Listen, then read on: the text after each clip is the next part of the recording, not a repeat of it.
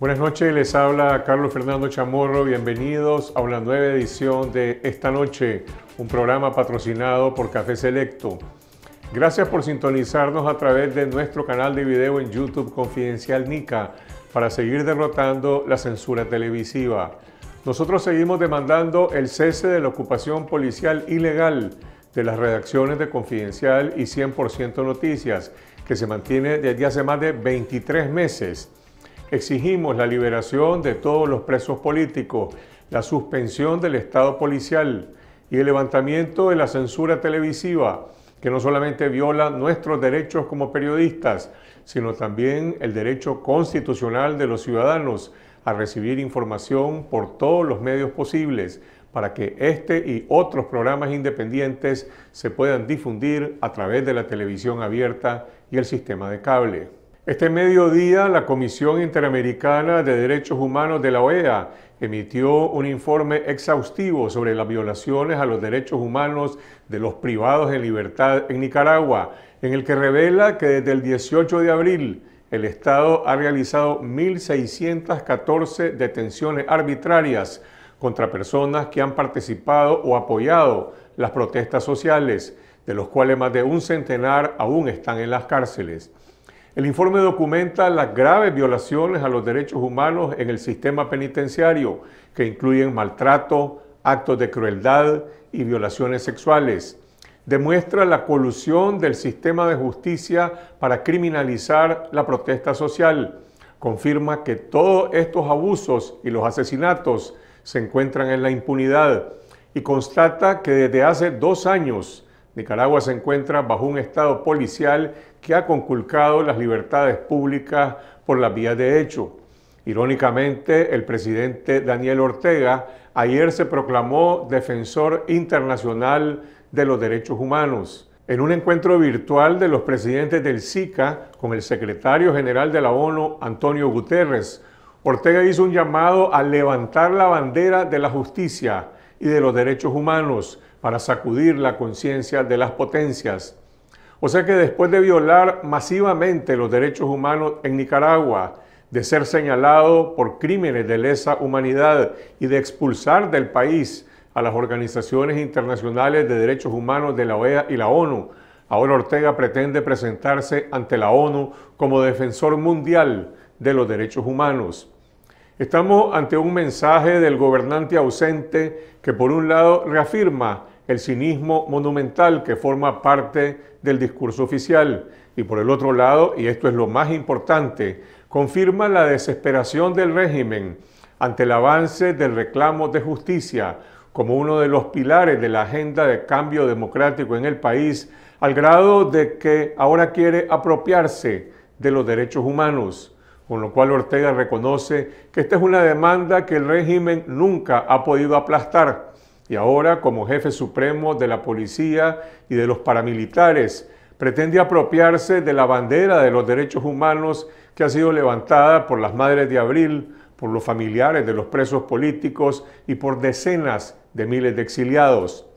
Pero si de verdad Ortega quiere reconciliarse con los derechos humanos, lo primero que debe hacer es liberar a todos los presos políticos, suspender el Estado policial y permitir el retorno al país de la CIDH, de la OEA y de la Oficina del Alto Comisionado de Naciones Unidas. Con su demagogia, el presidente está reconociendo el compromiso del Estado de Nicaragua con las convenciones internacionales de derechos humanos. Ahora le toca a la CIDH de la OEA y a OACNUD de la ONU venir a Nicaragua para realizar una investigación independiente que restablezca la verdad y que despeje el camino hacia la justicia. Eso es lo que todos los nicaragüenses y la comunidad internacional deberíamos exigir. Primero la suspensión del Estado policial y después una elección libre, transparente y competitiva. Y a propósito del informe de la Comisión Interamericana de Derechos Humanos, esta noche entrevistaremos a la jurista chilena Antonia Urrejola comisionada de la CIDH y relatora para Nicaragua, para analizar los alcances de este documento de más de 140 páginas y sus 27 recomendaciones. Hablaremos con Dalia Montenegro, hermana de los tres hermanos Montenegro asesinados y tía de Dorling Montenegro, capturado en Huilí el domingo pasado. Aquí en el estudio estará con nosotros Violeta Granera, miembro de la Coalición Nacional por la Unidad Nacional, para analizar cuál es el significado político de la expulsión del PLC y cuáles son los siguientes pasos de la alianza opositora. Les presentaremos la historia de la Fundación del Río y sus 30 años en defensa de los derechos ambientales y de las comunidades. Y al final del programa, la caricatura animada y comentada de Pedro Javier Molina, el caricaturista de Confidencial. Empezamos con el reporte de las noticias del día. El régimen de Daniel Ortega y Rosario Murillo han encarcelado al menos a 1.614 personas desde el 18 de abril de 2018 hasta el pasado 31 de mayo, por su participación en las protestas sociales contra la represión oficial. Así lo revela un informe elaborado por la Comisión Interamericana de Derechos Humanos de la OEA. El informe detalla que los presos políticos han sufrido hacinamiento, violencia sexual, tratos crueles y degradantes, algunos de los cuales podrían alcanzar el umbral de la tortura, entre otras violaciones a sus derechos humanos en el sistema carcelario. Las detenciones arbitrarias han sido ejecutadas con uso abusivo y desproporcionado de la fuerza de agentes de la Policía Nacional y grupos parapoliciales, sin exhibir un mandato judicial o causa de arresto, y sin realizar posteriormente un debido proceso, documenta la CIDH. El informe fue construido con base a 266 testimonios de personas que han sido privadas de libertad, y resalta que todos los hechos de violaciones a los derechos humanos descritos aún se encuentran en la impunidad, mientras que en el país persiste una práctica sistemática de hostigamiento, amenazas e intimidación contra la población civil opositora, sometidas a la imposición de un Estado policial. La CIDH finalmente exhorta al Estado de Nicaragua a iniciar de oficio y de inmediato una investigación efectiva que permita identificar, juzgar y sancionar a los responsables de malos tratos y tortura en el sistema penitenciario nacional. La Unión de Presas y Presos Políticos informó este miércoles que la policía presentó al joven Dorling Montenegro, secuestrado el pasado domingo en su casa de la comunidad Maleconcito en el municipio de Huihuilí, Jinotega, y denunciaron anomalías de vincular su detención al presunto asesinato de su tío político Francisco Blandón. Dorling Antonio Montenegro es hermano del preso político Oliver Montenegro. Los integrantes de esta familia son reconocidos opositores de Wiwili, que tras el estallido social de abril de 2018, comenzaron a ser perseguidos por el régimen de Ortega. Este lunes, unos 10 oficiales de la Policía Nacional entraron ilegalmente a la finca de la familia ubicada en el centro Quilambé, en Wiwili.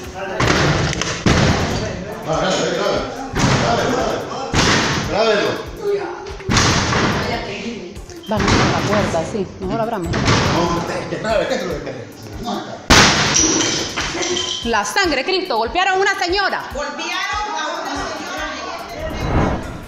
La Organización Panamericana de la Salud, OPS, hizo un llamado al gobierno de Daniel Ortega a descentralizar las pruebas de COVID-19 para controlar el contagio del virus, principalmente en las zonas afectadas por el paso del huracán Iota y Eta en noviembre pasado. Eh, a Nicaragua se, le ha recomendado que descentralice las pruebas. Cuando las pruebas son centralizadas y la información no se provee a tiempo, es muy difícil tener un conteo adecuado de los casos. Y los gobiernos que protegen a su población eh, informan de, de, esos resultados inmediatamente. De tal manera que eh, consideramos que eh, luego de los huracanes y luego de los proyectos que se están desarrollando en Nicaragua, la descentralización de las pruebas va a ser uno de los signos principales del compromiso eh, multiinstitucional para controlar la COVID-19 en Nicaragua. El régimen de Ortega ha centralizado la aplicación de pruebas de COVID-19 en el Centro Nacional de Diagnóstico y Referencia ubicado en el complejo Conchita Palacios, y no ha rendido cuentas sobre el número exacto de pruebas realizadas y sus resultados.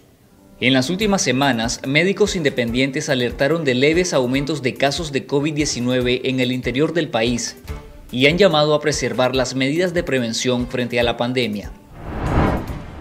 Reino Unido aprobó la vacuna contra la COVID-19 producida por los laboratorios de Pfizer y Biotech para empezar a aplicarla a los grupos más vulnerables de su nación a partir de la próxima semana. La Agencia Reguladora de Productos Sanitarios y Médicos de ese país aprobó la vacuna que ofrece el 95% de eficacia.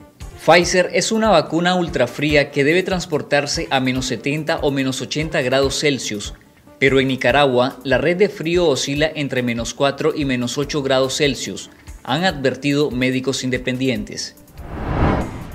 La maquinaria del FSLN y los operadores del poder es el décimo libro coleccionable en formato digital que reúne los principales artículos publicados por Confidencial entre 2018 y 2020. Les invitamos a adquirir este ebook al unirse al programa de membresía en la dirección www.confidencial.club. Esas son algunas de las noticias que tuvieron más impacto en la jornada de hoy. Y ahora vamos a la entrevista con Violeta Granera, miembro de la Coalición Nacional por la Unidad Nacional Azul y Blanco y hasta este lunes coordinadora rotativa de la coalición. Le preguntamos qué significa la expulsión del PLC y cuáles son los siguientes pasos de la alianza opositora y esto fue lo que respondió. Violeta, la decisión que tomó la coalición nacional en relación al PLC, ¿es una suspensión temporal o una expulsión? No es una expulsión. Eh, eh, la separación es un sinónimo en el contexto de nuestra decisión de expulsión el FDN propuso inclusive que se usara esa palabra, pero decidimos eh, pues usar la que ya teníamos como propuesta. Las bases del PLC, sus representantes departamentales, municipales, sus alcaldes que han estado participando en la coalición, ¿tienen la opción de sumarse a la coalición o también están afectados por esta decisión? Mira, nosotros hemos sido claros, eh, eh, este, las puertas de la coalición están abiertas para los liderazgos del PLC o de cualquier denominación liberal que quieran seguir participando o participar. Obviamente en el caso del PLC tiene que haber una separación pública de la institucionalidad porque es, es la institución del PLC la que ha sido separada de la coalición. ¿Cuántos miembros plenos nacionales tiene en este momento la coalición nacional?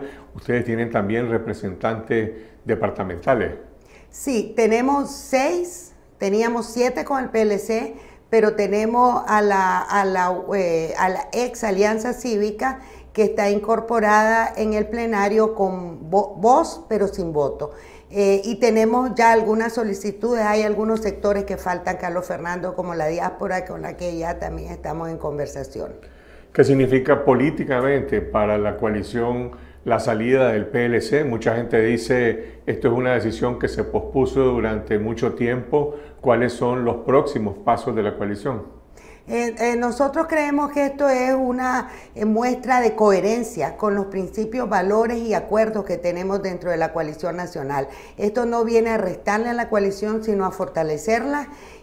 nunca pensamos que la casilla del PLC fuera una opción por el desprestigio pues que, que ya tenía, pero dimos la oportunidad eh, para ver si la fracción eh, que nos había ofrecido hacer un cambio profundo dentro del PLC lograba algún resultado. Eh, sin embargo, lo que ya hemos sabido, lo que pasó, lo que está totalmente claro, imposibilitaba totalmente la permanencia del PLC. Los próximos pasos son los que hemos venido dando. Yo espero que este sea un capítulo cerrado.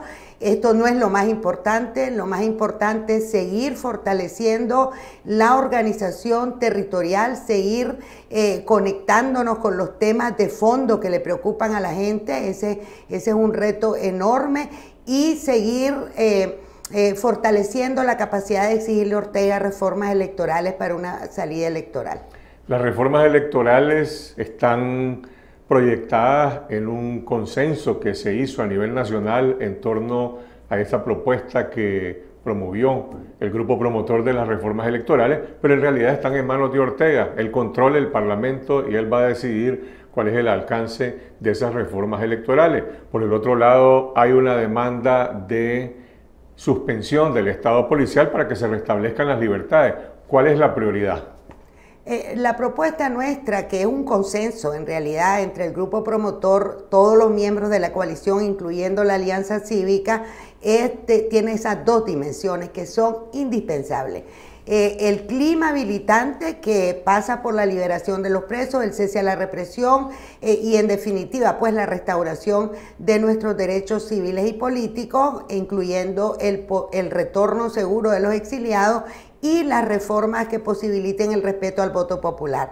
Cuando nosotros hablamos de elecciones, Carlos Fernando, hablamos de elecciones libres y elecciones libres eh, eh, comprenden estos dos aspectos eh, que son consustanciales.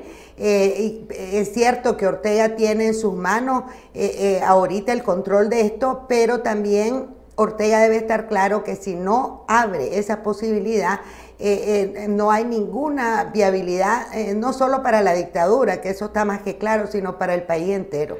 Ahora, este mediodía la Comisión Interamericana de Derechos Humanos divulgó un amplio informe sobre las violaciones a los derechos humanos de los privados de libertad, en el que habla, además de que en Nicaragua hay un Estado policial sin libertades democráticas. ¿Hay en el país un frente nacional para demandar la suspensión del Estado policial o hay sectores que estarían dispuestos a participar en una elección aún sin libertades democráticas? Yo creo que los zancudos están listos a participar los que estamos de verdad comprometidos con la demanda de liberación del pueblo de Nicaragua no lo, eh, eh, no lo vamos a hacer. O sea, estamos comprometidos. Y yo creo que somos la mayoría, al menos eh, la mayoría de nicaragüenses están claros de que aquí no se puede reeditar la farsa electoral en la que muchos partidos han venido participando y que han dado los resultados que ahora tenemos con esta feroz dictadura. En una eventual elección, ya sea con o sin reformas electorales, en este momento claramente ya hay dos fichas en el tablero, la del FCLN que controla todo y la del PLC, ahora fuera de la coalición, un partido colaboracionista del FCLN, que en las elecciones de 2011 obtuvo el 5% de los votos y en 2016 el 11%. ¿Puede el PLC dividir de alguna forma el voto opositor? Yo creo que el PLC como está no es ninguna amenaza. Eh, nosotros eh, hemos abierto eh, las puertas a todos los sectores y partidos políticos, pero en el entendido de que habían algunos ahí, como el PLC, eh, que era más bien un enorme riesgo. Y ya lo hemos visto y ya lo hemos solucionado. Eh, el PLC está, pareciera que está de nuevo ubicándose en, su, en, el puesto que ha tenido siempre después del pacto de, un socio, de ser un socio minoritario con Ortega. Ellos probablemente están apostando a eso. Y si aquí no logramos que no haya un fraude electoral, eh, el, rol del PLC va a ser absolutamente irrelevante. Las propias bases del PLC están hartas de ese caudillismo, de ese pactismo y de esa complicidad que han venido teniendo con el régimen de Ortega. Siempre dentro de ese análisis hipotético de una eventual elección, algunos analistas dicen, bueno, con la liquidación ya definitiva del PLC, a la oposición le quedan a su eventual disposición dos casillas, la del PRD que está en la coalición, la de C por L que está fuera de la coalición. Por otro lado, algunos de ustedes han hecho una demanda de conseguir una, una casilla nueva para la coalición. ¿Cuál de esas opciones es viable? Mira, nosotros vamos a seguir empujando, Carlos Fernando, por tener una casilla propia. Eh, dentro de la coalición nacional, pero tampoco descartamos alianzas electorales que se puedan dar en el, eh, futuro cercano, porque aquí lo importante no es más que una cosa, es que todos tengamos conciencia de que solo unidos en un solo bloque vamos a poder derrotar y acabar con el sufrimiento del pueblo de Nicaragua. El que no, el grupo partido que no muestre esa disponibilidad, en mi opinión, está haciéndole el favor únicamente a la dictadura. ¿Han tenido algún intercambio con la Alianza Cívica desde que se retiró de la coalición nacional? Ellos dijeron que iban a promover una alianza política electoral más amplia. Nunca hemos cortado la comunicación, eh, digamos, personal con miembros de la Alianza Cívica, pues no somos enemigos, al contrario, muchos somos amigos, pero no hemos tenido una reunión institucional hasta ahora. Eh, sí creemos que hay que hacer esa reunión, pero eh, desde la Unidad Nacional lo que le, estaríamos pidiendo a la Alianza Cívica es una comunicación más transparente, más franca y más coherente. No podemos reeditar lo que pasó hace un tiempo, eh, porque ya el país no tiene, no tiene tiempo para seguir eh, haciendo eh, juegos de, de, alianzas que luego puedan estar desbaratándose. eso es inadmisible, o sea, nosotros hemos sido bien coherentes, sí a la unidad lo más amplia posible, pero una unidad transparente, eh, sincera y poniendo de verdad Nicaragua por encima de los intereses particulares de cualquier grupo. Para cerrar el capítulo del PLC, hay un debate, un intercambio entre miembros de la UNAP y miembros de la Alianza Cívica en relación a quién invitó, quién convocó al PLC a la coalición nacional. Unos dicen fue la Alianza Cívica, otros de la Alianza Cívica dicen fue en conjunto con la UNAP.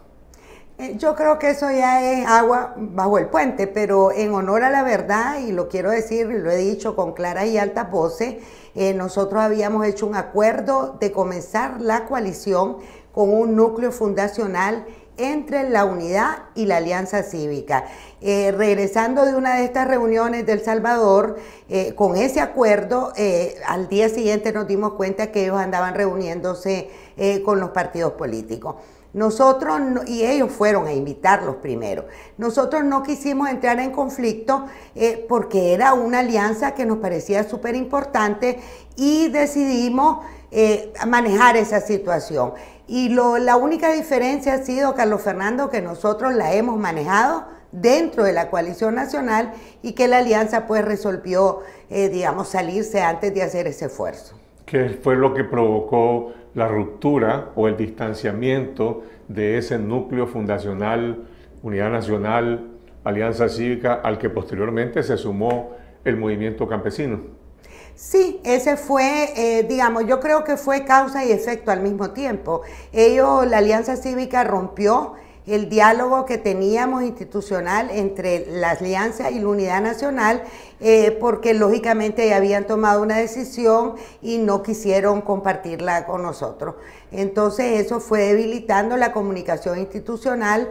Eh, la unidad no estuvo de acuerdo con la decisión eh, que ellos tomaron, pero eso no implica que somos enemigos, es decir, hubo un desacuerdo clarísimo en la táctica que se ha usado, había un acuerdo desde el comienzo de que la inclusión del PLC que, a la que ellos se precipitaron a hacer traía enormes riesgos, eh, pero la verdad es que eso ya pasó, creo que la gente está interesada en otras cosas más importantes, la liberación de los presos y toda la tragedia que está sufriendo el pueblo de Nicaragua con la, con la emergencia nacional eh, y la situación económica, eh, pero es bueno dejar claro ese asunto. El sector empresarial, y hablo de las cámaras empresariales, de los empresarios medianos, pequeños y también los grandes empresarios, ¿tiene un veto sobre la coalición nacional o sobre la UNAP? Bueno, las cámaras empresariales agrupadas en, a través de distintos representantes están en la Alianza Cívica que de alguna manera promovió también esa ruptura.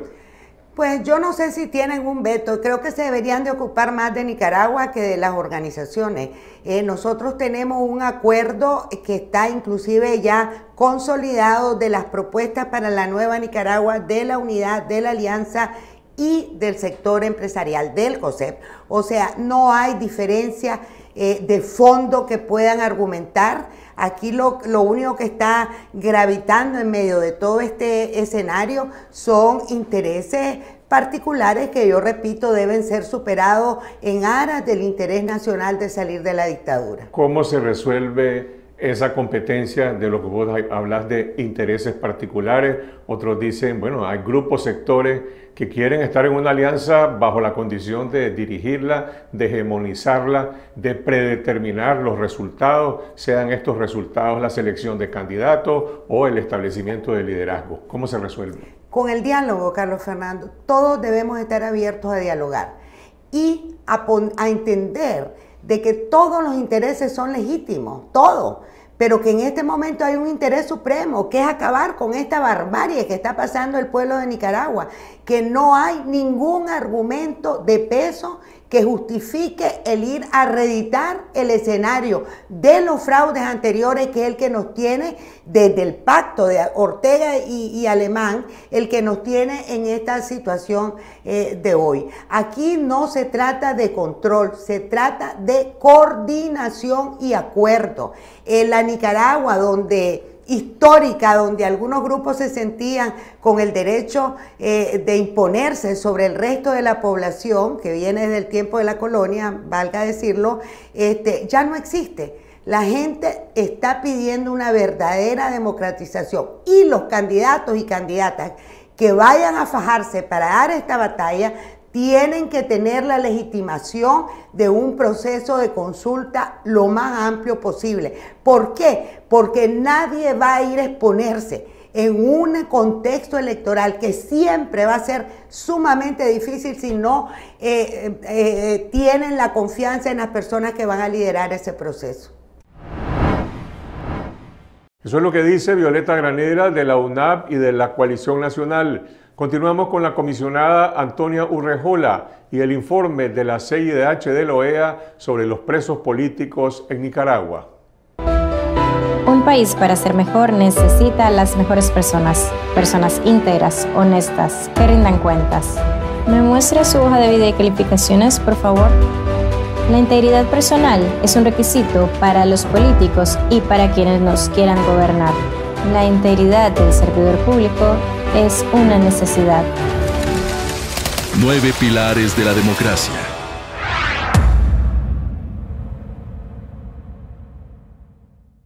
Y ahora nos comunicamos hasta Santiago, Chile, con la jurista Antonia Urrejola, comisionada de la Comisión Interamericana de Derechos Humanos y relatora para Nicaragua, para conocer los alcances del informe sobre las violaciones a los derechos humanos de los privados en libertad en Nicaragua.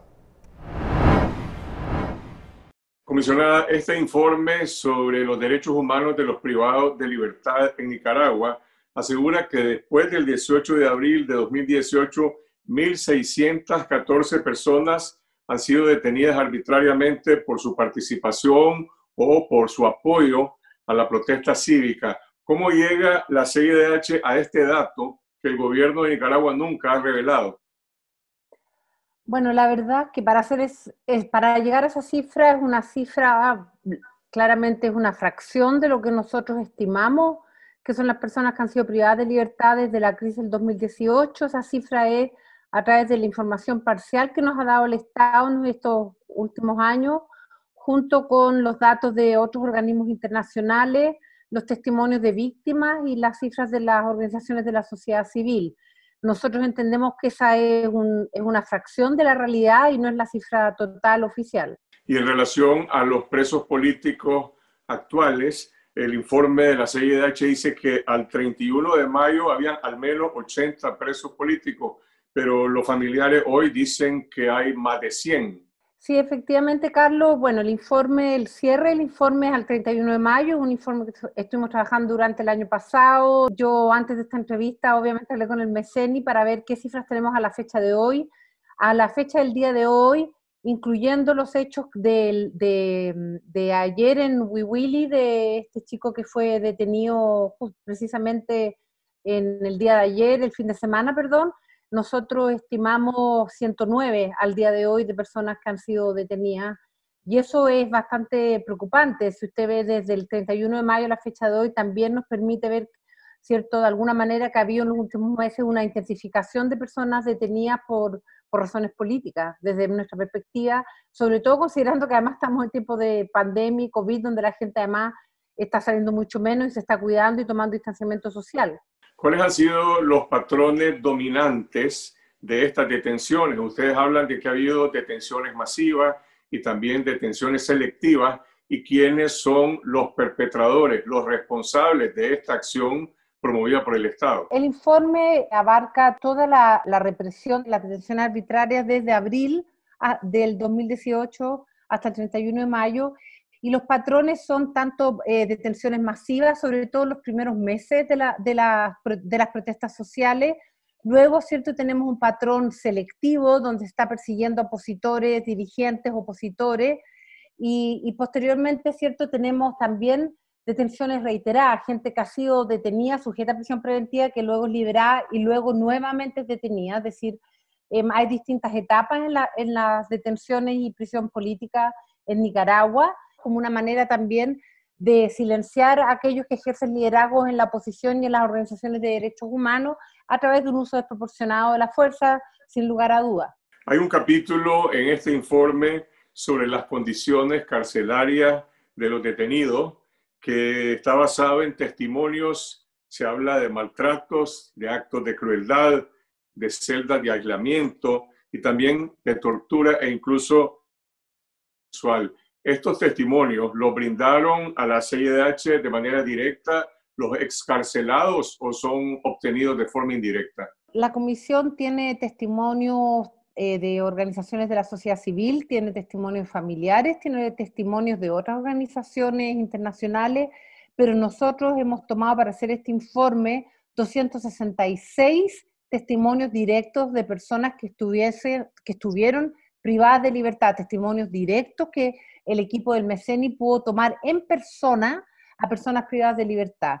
Y a partir de esos testimonios directos nosotros pudimos tomar ciertos testimonios de tratos crueles, inhumanos y también, tenemos que decirlo, eh, tuvimos testimonios de parte de, mujeres que fueron objeto de violencia sexual y también algunos testimonios derechamente de violaciones sexuales. ¿Y cuál es su, cuál es su valoración sobre este sistema carcelario? En el que también está incluido en el informe el asesinato del reo Eddie Montes el 16 de mayo de 2019. Esto es un sistema de castigo, se puede describir, calificar como un sistema de tortura. Hay que hacer dos distinciones. En primer lugar, sin lugar a dudas, la situación carcelaria en Nicaragua en general es una situación bastante común a otras cárceles de la región y en eso mm, mm, es una realidad que todo el mundo conoce, que es la situación de hacinamiento en las cárceles, donde eh, hay una inadecuada eh, ventilación, la falta en muchas cárceles de la región, la falta de acceso a luz solar, la falta de acceso a, comida adecuada, la falta de acceso a salud pública y es una situación que vemos, que vemos en general en las cárceles del continente y Nicaragua no es una excepción.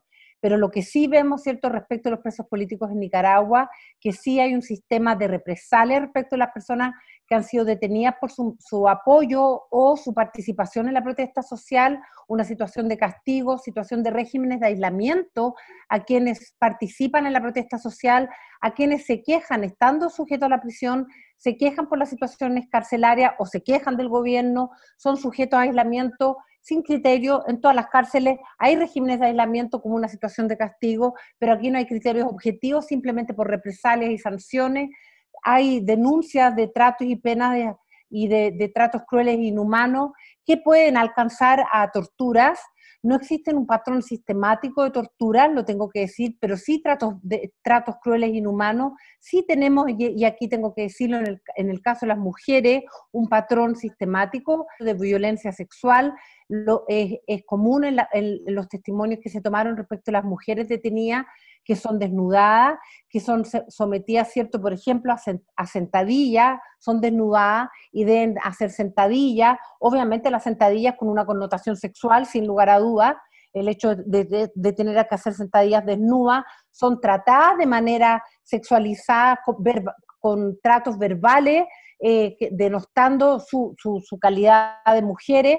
Eh, sobre todo en el caso de las mujeres, hay amenazas permanentes, además de que van a ser violadas, un trato de violencia sexual permanente hacia las mujeres, hay denuncias concretas de violación sexual, no como un patrón sistemático permanente respecto a las mujeres, pero sí de violencia sexual, quiero hacer la distinción, pero sí de violencia sexual permanente respecto a las mujeres y sí de tratos crueles, inhumanos y amenazas permanentes respecto a los presos de los presos políticos, de despojo de pertenencia, de castigo de te doy alimentación, no te voy a dar la alimentación, te retiro de tu celda, no te retiro de tu celda, de amenaza respecto a los familiares que están afuera, de seguimiento a los familiares estando afuera, hostigamiento a los familiares, de suspensión de visita. El informe describe la respuesta del sistema judicial nicaragüense que a muchos de los detenidos les atribuyó el delito de terrorismo, cobijado sobre una acusación todavía más amplia de que habrían participado en un supuesto intento de golpe de Estado. ¿Hay algún, indicio en los hechos que justifique estas acusaciones de parte del Estado? No, lo que nosotros vimos desde nuestra visita en mayo del 2018 en adelante, de toda la información que obtuvimos en nuestra visita, del informe del propio GIEI, eh, que es público hoy día, de la información de la propia oficina la alta comisionada que también estuvo en Nicaragua y nosotros intercambiamos información, claramente lo que nosotros vimos, sobre todo ciertos en las acusaciones que se hicieron eh, durante el, primer año en el contexto de las protestas, que en primer lugar a la gente se le detenía sin cargo, sin exhibición de orden judicial.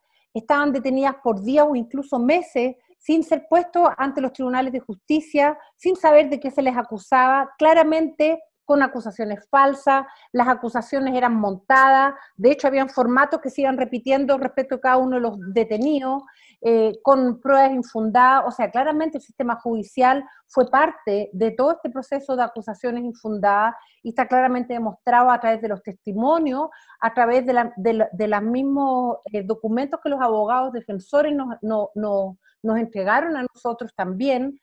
Claramente esto fue todo un montaje también del propio sistema judicial que fue parte de todo este proceso y eso está claramente eh, acreditado a través de la información que la Comisión, el MECENI, cuando estaba en Nicaragua y posteriormente nosotros hemos podido obtener a través de los testimonios y los documentos que hemos podido eh, recabar por los propios abogados defensores de los presos. ¿Se ha hecho de parte del Estado de Nicaragua alguna investigación sobre los asesinatos que se le atribuyen a policías o a grupos parapoliciales o sobre estas detenciones arbitrarias? Eh, no, y el informe precisamente lo que señala es eso, es que, es que por una parte el, el, Poder Judicial, por una parte, ha facilitado y avalado la persecución y criminalización de, de, de los defensores y defensores de derechos humanos, de los estudiantes, de los opositores, ha sido parte de la persecución a la, a la oposición en Nicaragua, avalado toda esta persecución de parte del Ejecutivo, por un lado, y no ha habido ninguna investigación real y efectiva respecto de las propias acusaciones que se le hacen.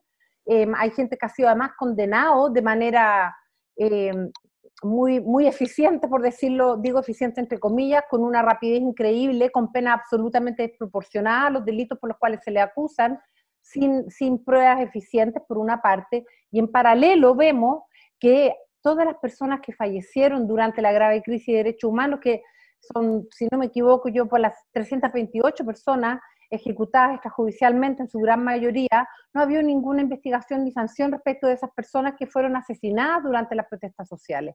Por lo tanto, claramente, por una parte vemos, ¿cierto?, cómo hay un conjunto de personas que en el contexto de las protestas sociales, por su participación en esas manifestaciones y protestas, han sido detenidas, acusadas, sin un debido proceso, sin derecho a, una debida defensa, y han sido acusadas a través de pruebas que claramente son infundadas y han sido sancionadas eh, con pena absolutamente desproporcionada. Eso por un lado. Y luego, quienes han sido asesinados y sus familiares no han obtenido la justicia como corresponde, lo que demuestra que el Poder Judicial ha sido parte, ¿cierto?, de toda esta criminalización contra la protesta por una parte y la impunidad por otra parte. Y lo que claramente demuestra que no hay una debida independencia, que es parte fundamental de una democracia. En el informe de la CIDH dice que los privados de libertad han sido usados por el gobierno como una especie de moneda de intercambio o de negociación. Eh, ¿Qué quiere decir eso? Lo que nosotros vimos durante el año pasado y el antepasado, si usted recuerda, ¿cierto? Hubo, hubo varias eh, excarcelaciones de presos políticos, pero ahí hubo una, una suerte de utilización, ¿cierto? Las negociaciones hubo en un momento dado, ¿cierto?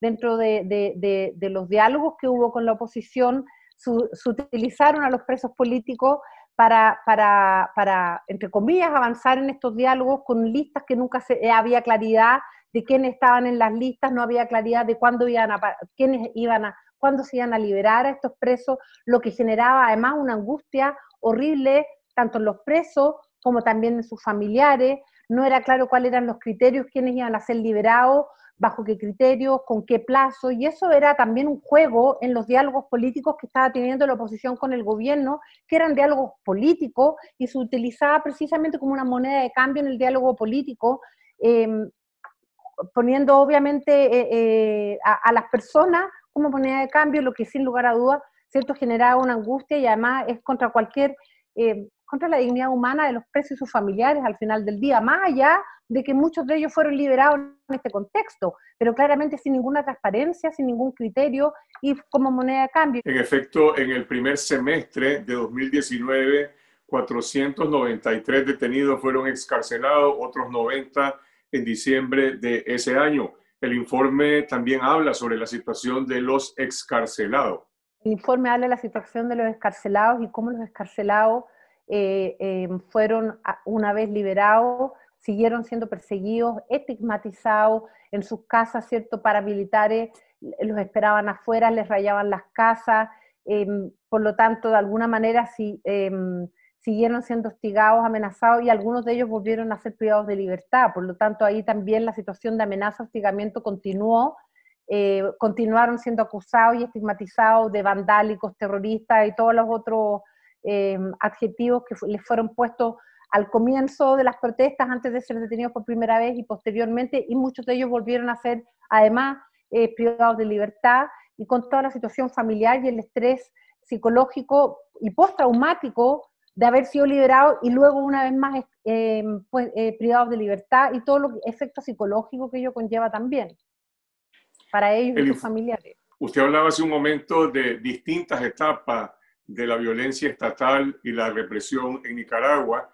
Y el informe habla de que desde finales de 2018 se impuso lo que describen como un Estado policial. ¿Qué es un Estado policial? Nosotros hemos hablado, ¿cierto?, las distintas etapas y el Estado policial para nosotros ha sido precisamente esto, donde todos los espacios democráticos se han ido cerrando.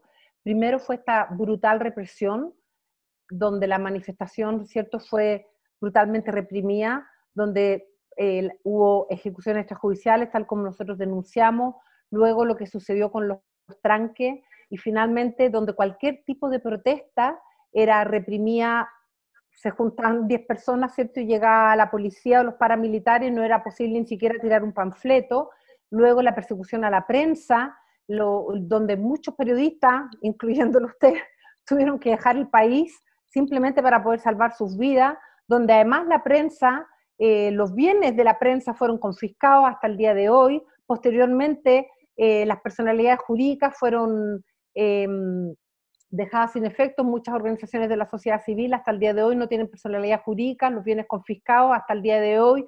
Vemos cómo todavía muchos canales de televisión, los pocos que van quedando, siguen siendo perseguidos, como Canal 12, es decir, un Estado policial que va, que va cerrando cualquier espacio de oposición, de, disidencia en el espacio público, sea la protesta en la calle, sea la disidencia pública a través de la prensa, sea la disidencia a través de las redes sociales, sea cualquier disidencia y debate que no sea distinto a la, oficialidad, y, eso incluye la calle, la vereda, donde la gente pueda juntarse en un grupo y tirar un panfleto. Y eso es lo que hemos visto eh, en, en, los últimos años en Nicaragua y el Estado policial también incluye que gente que ejerce cualquier tipo de liderazgo, sea un liderazgo social a través de derechos humanos, sea un liderazgo periodístico, sea un liderazgo empresarial, tiene gente fuera de su casa que lo persigue para ir al supermercado, aunque no le haga nada, simplemente una sombra que está permanentemente encima diciendo lo estamos mirando, eso es un Estado policial. El que el Estado sepa lo que uno hace, con quién se junta, dónde va, con quién se reúne, eso es un Estado policial y eso es lo que está pasando hoy día en Nicaragua. El informe tiene 27 recomendaciones, empezando por la demanda al Estado de que ponga en libertad a los privados de libertad, que cesen las, las detenciones arbitrarias, que se investigue y se sancione a los responsables de malos tratos y torturas en el sistema penitenciario. Pero ¿a quién están dirigidas estas recomendaciones? Al Estado de Nicaragua, que expulsó incluso a la CIDH del país hace dos años, a la sociedad nicaragüense o a la comunidad internacional. Bueno, la Comisión Interamericana tiene competencia respecto a los estados. Nosotros hacemos recomendaciones al, al Estado. Nosotros tenemos un mandato, eh, nuestro mandato respecto del cumplimiento de la, Convención Interamericana y los tratados internacionales ratificados por los estados y nuestro mandato respecto del Estado. Y el Estado, bueno, eh, lo representa, ¿cierto?, eh, el Poder Ejecutivo, Legislativo y Judicial yo entiendo, cierto, que el gobierno de turno es el gobierno que, existe hoy día, pero el gobierno no es solo el ejecutivo, es el legislativo y el judicial. Eh, nosotros siempre nuestras recomendaciones para las distintas ramas del Estado. Yo entiendo, y siempre es una conversación que me toca con, con muchas organizaciones de la sociedad civil y organizaciones de víctimas, cuando hay un Estado que no cumple con las recomendaciones, eh, es la sensación de frustración permanente sobre el rol de la Comisión. Pero mm, yo no trabajaría en derechos humanos si no creo que en algún momento el péndulo da vuelta. Y las recomendaciones que hace la comisión están ahí, quedan ahí y en su momento llega, llega un, gobierno o llega un poder judicial o llega un poder legislativo o un poder ejecutivo que finalmente hace suyas las recomendaciones y empieza a cumplirlas. Y por otro lado, la sociedad civil con las recomendaciones de la Comisión Interamericana también tiene una herramienta para, presionar y también para ir estableciendo un camino para, para, para establecer por dónde ir en materia de derechos humanos. No solo, no solo, hay otros caminos también que tiene que hacer el pueblo nicaragüense, pero las recomendaciones también establecen un camino.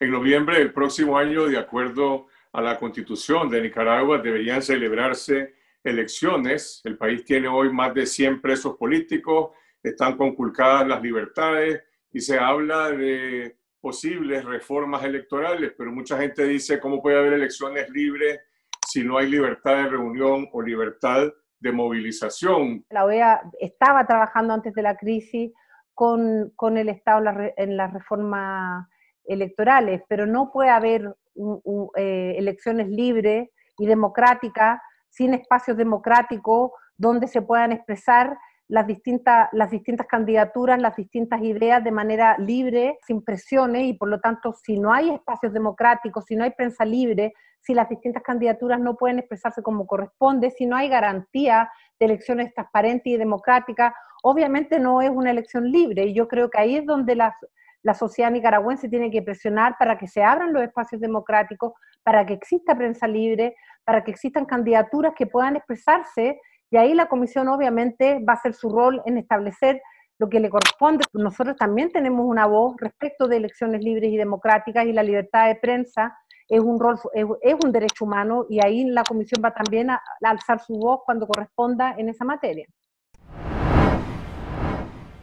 Eso es lo que dice la comisionada de la CIDH, Antonia Urrejola. Continuamos hablando sobre las violaciones a los derechos humanos con Dalia Montenegro, hermana de los tres hermanos Montenegro que han sido asesinados y tía de Dorling Montenegro, capturado en Huihuilí el domingo pasado. Cindy Regidor nos cuenta la historia del más reciente preso político capturado por la dictadura. Dalia, su sobrino Dorling Montenegro fue capturado por la policía el domingo en la noche. ¿Conocen ustedes cuál es su situación en este momento? La policía no nos da información, se niega a darnos información, no nos, no nos han recibido, no nos han atendido. Esta tarde se conoció que la acusación contra Dorling ya fue presentada y se le acusa de los supuestos delitos de obstrucción de funciones, posesión y tenencia de armas de fuego y asesinato en grado de tentativa. ¿Qué opina usted y su familia de estas acusaciones que se hacen en contra de Dorling. Se ha dado a conocer cuáles son las acusaciones que de manera oficial están expresas en, el expediente que están construyendo para presentar la acusación. Eh, en ese caso, pues como en el caso anterior con, con Oliver José, son acusaciones que no tienen sustento, pero que al final lo que impera en este momento es cómo llevan los procesos ellos, cómo tienen el control sobre todo los poderes ¿no? Eh, del Estado. Y en función de eso, pues ya sabemos cuáles van a ser los resultados. Sin embargo, Eh, nuestra familia permanece firme, haciendo resistencia a pesar de todas estas arbitrariedades y vamos a continuar pues en, la denuncia sobre estos casos que, que se están desarrollando, que se están preparando, incluso algunos quizá ya preelaborados y que no tienen sustento definitivamente. Veamos ahora este video del allanamiento ilegal a la vivienda de sus padres que ocurrió este 30 de noviembre. ¿Este no pasa? Sí. Vamos, vení para adentro. Va a caer, que dañe esta también. ¿Que dañe esta? Dale, dale, pasa que dañe. Dale, ahora. Dale. Salve, para acá. Va. Va, dale, dale. Dale, dale. Talia, ¿qué justificación les dio la policía para ingresar con lujo de violencia en esta casa y qué sucedió tras el ingreso de estos oficiales? El allanamiento fue como eh, han visto ¿no? en, lo, que se pudo grabar eh, de forma violenta. Se solicitó si tenían orden de allanamiento para, para la vivienda y lo que mostraron fue fue la barra definitivamente de manera vulgar. la persona esta que coordina el grupo que ingresó, que es Fausto Herrera, eh, eh, agredió las puertas y entró de manera violenta. Que si haya agredido, si haya agredido porque mi papá es una persona ya anciana. Sentirse humillado en, su propia casa con, con semejante agresividad y, en su dignidad, pues porque al final ya como anciano no puede defender su, hacienda, su, hacienda en el sentido de sus pertenencias y sentirse de esa manera, de igual manera sentir que el temor de que tiene dos hijos más que estaban por suerte allí con él acompañándole y así como una niña de apenas cuatro años que gritaba de, de pánico, pues que sentía al ver la supuesta autoridad en semejante actitud. Una anciana también fue amenazada con llevar a la cárcel si no entregaban unas supuestas armas que hay en, en, la finca, las cuales pues no encontraron porque ellos entraron y rebatieron por donde quisieron. Y, y, no encontraron, pues obviamente no, no las iban a encontrar. Si, si, algo se llevaron, pues se nos desapareció la barra al fin que habían sacado, hurtado de la, de la casa que, de mi hermano, que fue la primera que irrumpieron, de mi hermano Noé Montenegro, el cual está en el exilio y llegaron a, a catear también su casa con, con violencia, rompiendo las puertas. Dalia, su familia es perseguida política del gobierno actual. Varios de sus miembros han sido asesinados, ahora dos de ellos son presos políticos, Oliver y, Dorling, como usted ya lo ha dicho, varios están exiliados. ¿A qué atribuye usted esta hazaña de las autoridades contra su familia. La familia Montenegro es una familia perseguida y, y sí hemos, eh, se ha recrudecido esa represión contra la familia. No es de ahora. Eh, por historia ya y algunos datos que se han dado a conocer ¿no? a, través del, del, contexto actual, eh, mis hermanos en la década de los ochentas, los mayores, que todavía en esa época eran unos niños, eh, decidieron engrosar en las filas de la resistencia nicaragüense, producto de las situaciones que en ese momento también se vivieron. Eh, había represión al campesinado, asesinatos, confiscaciones, cosas que a la familia pues no le parecieron. Somos una familia que nos hemos caracterizado por ser eh, críticos, ciudadanos activos. Somos una, familia que, no nos quedamos callados, que somos críticos, que cuando algo no nos gusta sabemos que lo tenemos que decir. Las miradas eh, desde eh, ese periodo de desmovilización hasta el 2018 siempre estaban puestas en la familia porque aquí habían desmovilizados de la resistencia nicaragüense, entonces nunca nos han dejado en paz. Eh, han sido perseguidos para, para irlos, como, se ha, como ha sucedido, ¿no? Han ido eliminando poco a poco a los desmovilizados de la resistencia y sobre todo aquellos humildes que solo participaron porque tenían esa convicción y ese compromiso para poder hacer un cambio en Nicaragua en esa etapa. En el 2018, de igual manera, empezamos a ver las cosas que no nos estaban gustando. Y entonces participamos activamente en algunas protestas, que tampoco es delito, sabemos que es un derecho, pero sin embargo, desde la perspectiva de este régimen, sí nos ven como delincuentes porque estamos protestando, porque criticamos. Y entonces de esa manera es que eh, han llegado ya a estos límites de, de agredir de manera criminal a la familia, perseguirlos, asediarlos, a tal punto que ustedes ya saben, ¿no? Cómo mm, mi hermano, uno de mis primeros hermanos, fue atrozmente asesinado. Mi, mi madre fue a recoger trozos nada más de lo que quedaba de él. Y mi otro hermano con su hijo también huyendo, ¿no? Buscando cómo salvar su vida, también fue asesinado, perseguido hasta donde había buscado el protección, ¿verdad? En otro país. Y eh, luego con los que han podido irse más lejos, pues ahí están, han logrado capear su vida en el exilio. Y ahora pues con los otros muchachos que han sido la mano derecha literalmente de mi padre, porque a él le falta su mano derecha, es un hombre ya a estas alturas con múltiples enfermedades, pues también están siendo perseguidos. Y el caso, pues ahí lo tenemos. Ya tenemos a, Oliver José Jr., que está preso ya, ya alrededor de casi seis meses y ahora pues con Dorling que, que acaban de, de capturarlo y todos estos procesos se han llevado de manera arbitraria. Con esta acusación que le han hecho a Dorling, como decía, prácticamente ahora serían dos los miembros de su familia que son presos políticos. ¿Ustedes qué le dirían a las autoridades? Eh, ¿Qué acciones piensan tomar?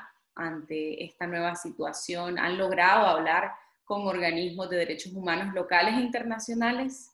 Dorling Antonio es nuestro segundo secuestrado político. Pero también no olvidamos que tenemos cuatro crímenes en nuestra familia sin recibir justicia, que tenemos exiliados por esta circunstancia, que tenemos personas que están desempleadas por este contexto. Y todo eso implica violación a nuestros derechos. ¿Qué podemos decirle al gobierno? Que, que, abra, que abra sus puertas, que se abra al pueblo, que escuche las demandas del pueblo y que devuelva la institucionalidad a este pueblo, que devuelva la democracia a este pueblo. Es un derecho. Queremos vivir en paz, somos parte de ese pueblo y vamos a seguir demandando esa institucionalidad, la democracia. No vamos a callar a las instituciones, a los organismos internacionales que nos acompañen en este proceso. Muchas veces, si ya no tenemos la capacidad, como tal lo ha demostrado el gobierno, de resolver nuestras situaciones, pues sí, obviamente tenemos que acudir a los organismos internacionales para que haya presión y para que haya una solución a esta situación. No podemos estar resistiendo tanto tiempo, este es desgastante. El pueblo ya quiere paz, quiere trabajo, quiere una institucionalidad, que dejen de tener secuestrado. Todos los poderes del Estado están secuestrados y controlados, ya sabemos por quién. Entonces, ¿y qué vamos a seguir haciendo? Nosotros en este caso, demandar justicia, solo eso nos queda. No nos van a callar, vamos a seguir denunciando, vamos a seguir exigiendo justicia en nuestro caso en nuestros, que es igual para muchas otras, otras familias que están viviendo estas situaciones. No nos van a callar. Al pueblo tenemos que seguir demandando justicia para que podamos volver a una vida en paz. Y ahora los dejamos con este documental de Fundación del Río sobre la trayectoria de esa asociación fundada en 1990 para promover la conservación de los bienes naturales y el buen vivir de las poblaciones en el sureste de Nicaragua. Una semana antes del estallido de la crisis sociopolítica en abril 2018, Fundación del Río alertó sobre el incendio en la reserva de Indio Maíz y la negligencia oficial unos meses después, el 13 de diciembre de ese mismo año, fue despojada de su personería jurídica y de sus bienes por una orden política del gobierno. Veamos el testimonio de Amaro Ruiz sobre los 30 años de servicio de Fundación del Río. Otra organización no gubernamental que fue saqueada por la policía fue Fundación del Río, que se ha destacado por sus denuncias de la invasión a la Reserva Indio Maíz e incluso ellos fueron quienes alertaron del voraz incendio que devoró gran parte de la reserva, que generó un gran repudio al régimen de Ortega. Un 13 de diciembre de 2018 conocimos de esa propuesta de cancelación de nuestra personería por los medios de comunicación. Nosotros emitimos una, una comunicación, pero además recurrimos de amparo por un recurso de inconstitucionalidad en contra de ese decreto de cancelación de la personería jurídica, que es totalmente arbitrario e ilegal, puesto que las acusaciones que se presentan en ese decreto están infundadas y no hubo ningún proceso de, de, juzgamiento ni derecho a la defensa de nuestra organización para presentar las evidencias que contradicen precisamente lo que ahí se expuso.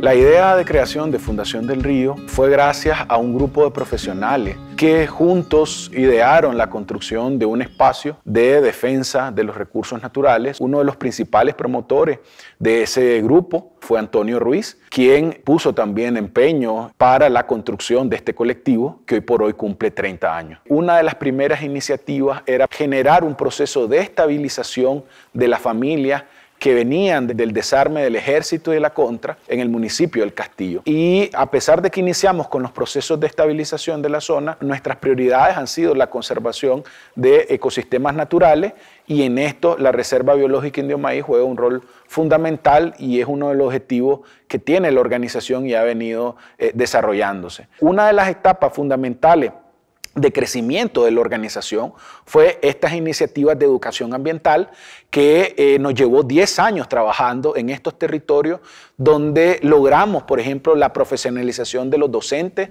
eh, del Ministerio de Educación, eh, apoyándolos con becas para que salieran del empirismo que había, que en ese momento se calculaba un 50%. Otro elemento es la relación transfronteriza que empezamos a desarrollar con organizaciones costarricenses. El trabajo transfronterizo permitió, por ejemplo, desarrollar iniciativas vinculadas a la conservación de la lapa verde, tanto en las zonas de, de reservas que tiene Costa Rica en la zona norte, como la Reserva Biológica Indio Maíz, las otras reservas que tiene Nicaragua en el sureste. Y luego de eso también trabajamos otras iniciativas que tenían que ver con la conservación de sitios y tenían que ver también con un programa que es el programa de manejo sostenible, donde se generaban algunas iniciativas productivas para encaminar todo el proceso de transformación y de uso sostenible de los recursos naturales.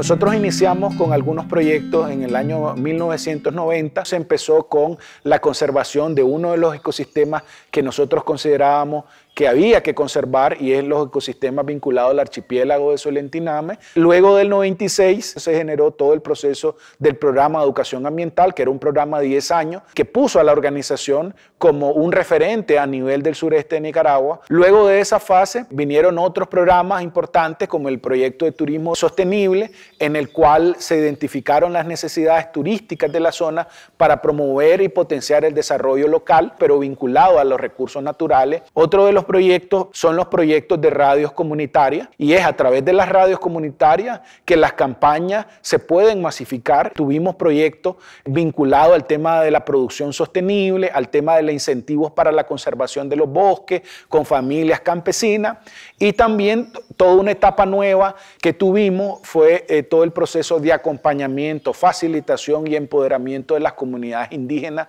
Rama y Criol, una de las cosas que nos hizo posicionarnos fue el tema de la defensa y la campaña Salvemos la Reserva Biológica Indio Maíz, pulmón de Centroamérica. Logramos posicionar la demanda de protección y conservación de la Reserva Biológica Indio Maíz hasta posicionarlos como un referente de las luchas ambientales en Nicaragua. Nuestra incidencia se centró en las autoridades locales de esos municipios. Sin embargo, vimos que ese proceso de incidencia no generaba un cambio en las políticas nacionales y gubernamentales alrededor de la temática ambiental. Entonces, nuestra apuesta fue ir a las instituciones que estaban a nivel departamental. Sin embargo, nuevamente nos encontramos que las autoridades departamentales de esas instituciones no hacían caso al llamado que hacíamos. Entonces, nuestra estrategia de incidencia fue más allá. Dijimos, es importante posicionar el tema de Río San Juan y de la situación ambiental del país en el sureste de Nicaragua en la capital, porque era el centro político donde se tomaban las decisiones. Entonces, para nosotros, el cambio de incidencia, sobre todo a nivel nacional, eh, fue una de las estrategias eh, finales que nosotros logramos hacer y hicimos varias acciones de incidencia a nivel de la capital, donde generó un proceso de opinión pública, pero también generó la atención de las autoridades nacionales, incluso autoridades internacionales o instituciones internacionales preocupadas por la, situación en Maíz, y también ha generado ciertas reacciones que hoy por hoy nos tienen, eh, a mí por ejemplo como presidente de la organización, en el exilio. Porque nuestra posición precisamente no ha sido de la venia de los gobiernos centrales, porque ellos o los gobiernos centrales nos consideran de oposición por tener posiciones firmes eh, en contra de los modelos de desarrollo productivo en el caso del proceso de extractivismo, el proceso de megaproyectos, que va en detrimento de las comunidades locales y de los ecosistemas.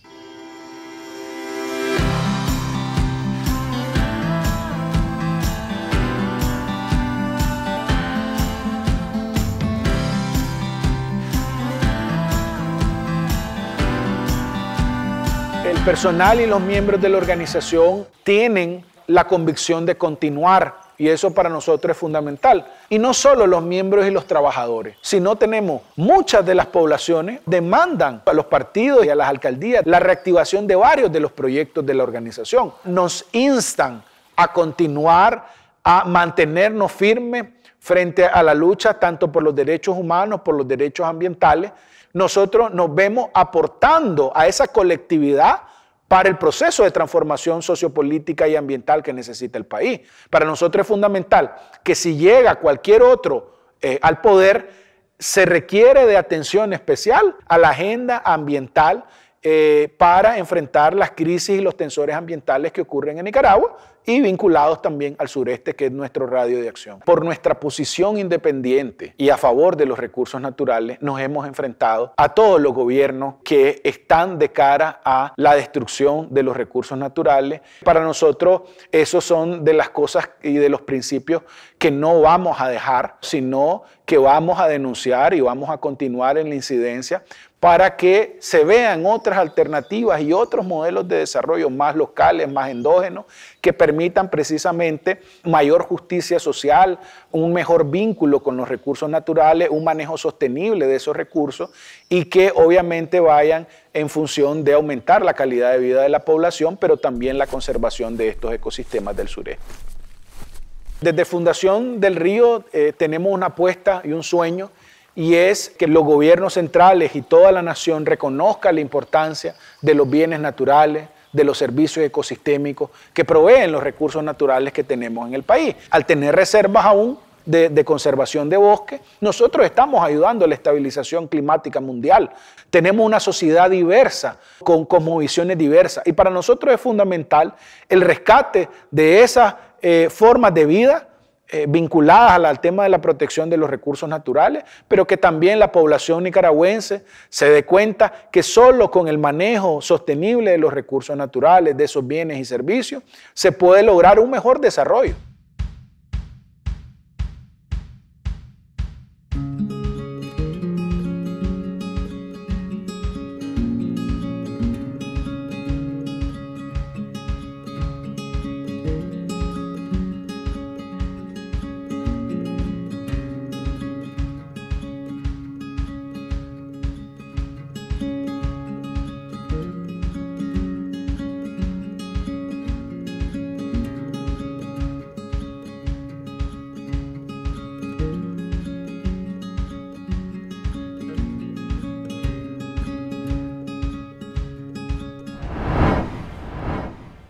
Este miércoles Confidencial lanzó el décimo libro coleccionable en formato digital titulado La maquinaria del FCLN y los operadores del poder, que reúne los principales artículos publicados por este medio de comunicación entre 2018 y 2020 sobre la crisis de la dictadura, un libro digital que tiene una selección de 22 textos, investigaciones, análisis, perfiles, entrevistas y columnas de opinión sobre la fractura política del FCLN, sobre los operadores del poder y sobre el papel de la policía y el ejército en la maquinaria del Estado Partido Familia. Les invitamos a adquirir este ebook al unirse al programa de membresía de Confidencial, cuyo sitio web acabamos de estrenar en confidencial.com.ni. Continuamos con la caricatura animada y comentada de Pedro Javier Molina, el caricaturista de Confidencial. Hola gente, empezamos el último mes del 2020 y sí, todos estamos desesperados con que se acabe, como si mágicamente cuando el calendario muestra el 1 de enero de 2021, el COVID va a acabar, o las ruinas que dejaron los huracanes y la represión en nuestra tierra, nuestra gente y nuestra economía van a desaparecer. Aún así, hay cosas que sí podemos cambiar si tenemos la voluntad y el valor de exigirlas, si hacemos la inversión humana necesaria para que así sea. Ya ha empezado la campaña para exigirle a la dictadura que libere a los presos políticos injustamente secuestrados por cosas como ondear una bandera o criticar lo que merece ser criticado. Y es que mientras este año el régimen ha soltado miles de verdaderos delincuentes, incluyendo al asesino de Jorge Rugama, muerto apenas hace unos meses, y cuyo criminal va a bacanalear grueso en estas navidades, los ciudadanos inocentes cuyo único crimen ha sido luchar por una Nicaragua libre se pudren ilegal e injustamente en las mazmorras de Ortega y Murillo. Por eso hay que exigir con cada bocanada de aire su liberación inmediata. No puede ni entretenerse siquiera la idea de elecciones cuando las únicas elecciones que te ofrecen en Nicaragua son irte humillarte o pudrirte en una cárcel. La otra petición urgente, y una que no es a la dictadura a quien hay que hacerla, es la de unidad. Qué pequeños han lucido quienes se ofrecieron como canales del monumental descontento popular contra Ortega y Murillo. Se han visto desbordados y distraídos por míseros egos, trampas, cuchillos y vanidades de la tarea que el país requiere. Exijamos pues a toda organización que quiera colgarse la etiqueta de opositora la unidad, el valor de poder denunciar lo sucio, renunciar al zancudismo y juntar tantos pero tantos vigores dispersos en una agenda mínima, pero tan mínima que puede reducirse en cuatro palabras. Salir de la dictadura. Cambio y chao.